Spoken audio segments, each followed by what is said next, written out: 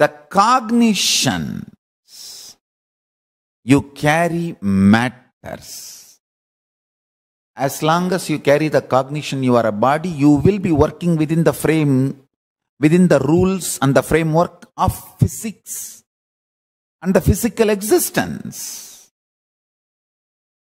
When you start feeling you are a presence using your body,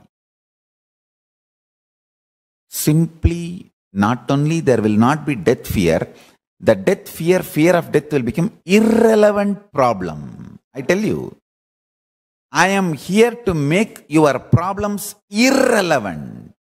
That is why NRIs like me. See, it's like if you are sitting inside India and trying to solve your problems, saying, oh, there is no justice, there is so much of difficulty, complications, there is so much of mismanagement, corruption everywhere. What can I do? That is trying to solve the problem. Suddenly you are given a green card and passport to US and you go and settle down there. All the problems become irrelevant. Of course, the problems in new country, new place will be there. That is different. But the old problems become irrelevant. Understand? Making your old problems continuously irrelevant by evolving next, next, next zones.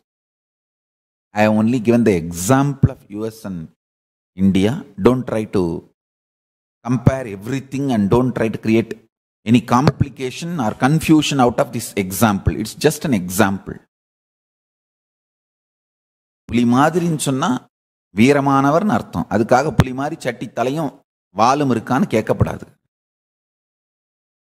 I say somebody is like a tiger, you should only understand he is courageous, powerful like tiger.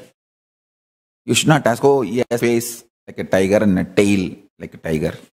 The lines on the strip on the skin. Understand only for the reason I am comparing. Understand the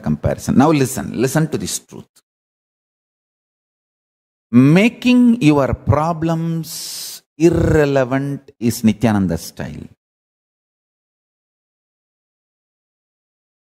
Solving is not my style.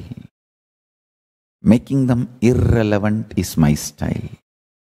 Yesterday I was talking about a very important subject.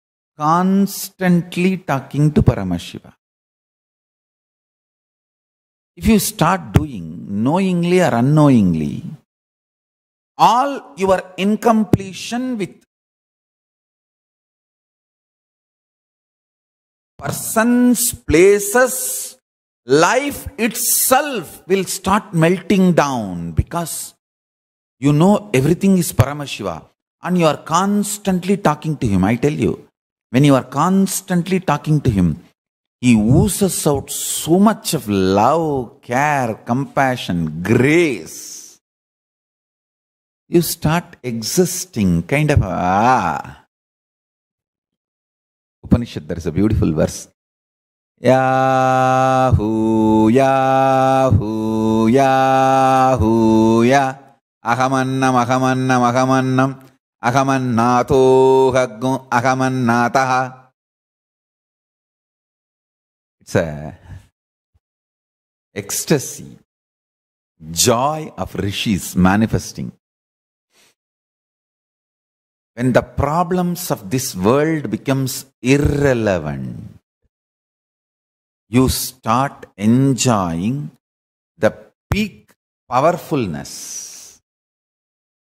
The peak powerfulness